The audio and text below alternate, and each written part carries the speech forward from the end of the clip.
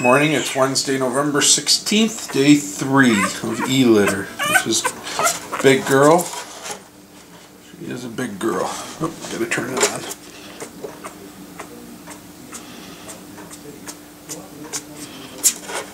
She is. Big girl is one pound, four ounces. At her little cute face.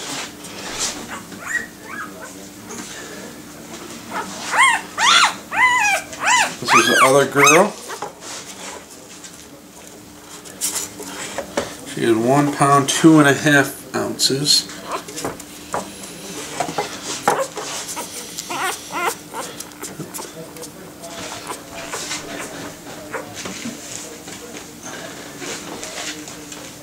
And this is the male. Is one pound, one and a half ounces.